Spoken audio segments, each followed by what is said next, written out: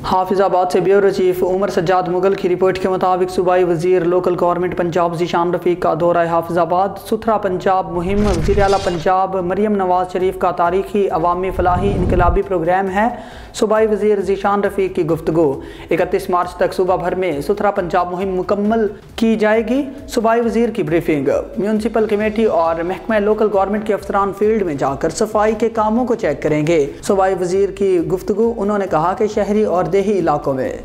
सफ़ाई के हवाले से बाकायदा शेड्यूल मुरतब किए जाएँ, जिस एमसी में सफ़ाई का निज़ाम ठीक नहीं होगा, उसका जिम्मेदार चीफ ऑफिसर होगा। सुबह वज़ीर ने मॉडल विलेज पीरकोट सानी में सुथरा पंजाब मुहिम का अफ्ताह कर दिया। सूबाई वज़ीर ने कलमा चौक, हुसैनपुरा समेत शहर के मुख्तलिफ़ इलाकों में सफ़ाई के काम भी चेक किए। सूबाई वज़ीर ने सस्ते रमज़ान बाज़ार, फेयर प्राइस शॉप और यूटिलिटी स्टोर का भी दौरा किया। सूबाई वज़ीर ने सब्जियों, फलों की कीमतों, क्वालिटी और सप्लाई का जायजा लिया। सूबाई वज़ीर ने चक चट्ठा में निगेबान रमज़ान पैकेज मुस्तकिन के घरों तक पहुँचाने के अमल का भी जायजा लिया। डिप्टी कमिश्नर सुंदस अरशाद ने सूबाई वज़ीर को सुथरा पंजाब मुहिम, रमज़ान बाज़ार और निगेबान रमज़ान पैकेज की तकसीम बारे ब्रीफिंग दी। वजी अला ज़िले मॉनिटरिंग कमेटी की चेयरपर्सन सायरा अफजल तारड़, अरकान सूबाई असम्बली मियाँ शाहिद हुसैन भट्टी, एवान जहांगीर भट्टी भी उनके साथ मौजूद थे।